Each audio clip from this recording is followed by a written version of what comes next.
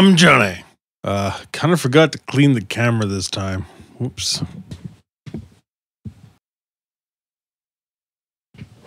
Clean my glasses too.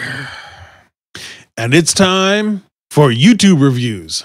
So, a number of years ago, we stopped paying for cable because, frankly, we weren't really watching it as a family anymore the less we watch TV, the more we start to watch YouTube, the more we started to find some YouTube content that was great for all of us.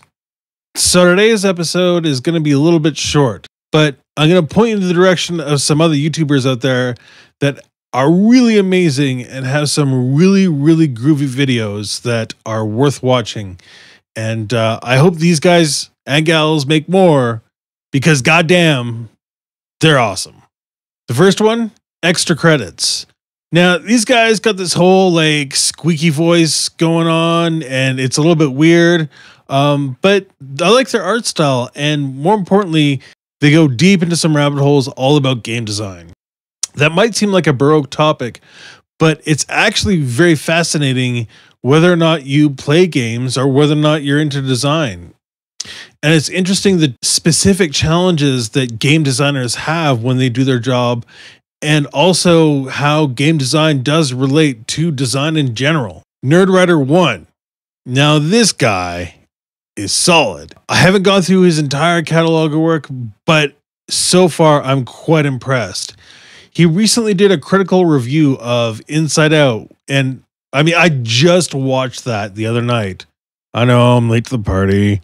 Now, I watched it just the right time because as a movie, it had something to show me when it comes to emotional intelligence and was a message that I really needed to hear. So I appreciated that. But I also appreciated the fact that this was kind of like an emotional intelligence training video for the young uns. But Nerdwriter, talk about your deep ass rabbit holes. You he goes deep into it. He goes really deep into what emotions mean, the emotional like oh. Some people don't appreciate this level of criticism, but I do a lot. I shouldn't have to say this, but I'm gonna. Vihart. She does these amazing mathematical explanation videos. If you watch my little draw explanation videos where I talk about the TB303 or saturators or ramble on about pentatonic Arisian modes, this is a direct influence here. She's very passionate about what she speaks about. She's very knowledgeable without being overbearing. And I'm saving this last one for last because it's the last. Three blue, one brown and it hurts my brain in some really good ways. He does this intuitive explanation about e to the i pi equals negative one. It's one of the most beautiful formulas in mathematics, blah, blah, blah.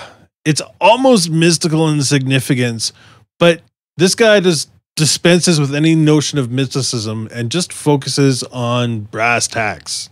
He's also a very eloquent speaker quite poetic. His videos are the kind of videos that you're going to want to watch again and again and again and again, unless you're really good at math, like scary good at math. And I know some of you are. And even those who are scary at math, I think there might be something in these videos for you as well. So I've really just just lightly scratched the surface of phenomenal YouTube content out there. I've left out a lot of the big players because honestly, they don't need more views. But I've probably missed a number of smaller time players that they really deserve to be called out because of their amazing work. So I'd love to hear about them. What other YouTubers out there really need more exposure because their content really is that good? Let me know in the comments below.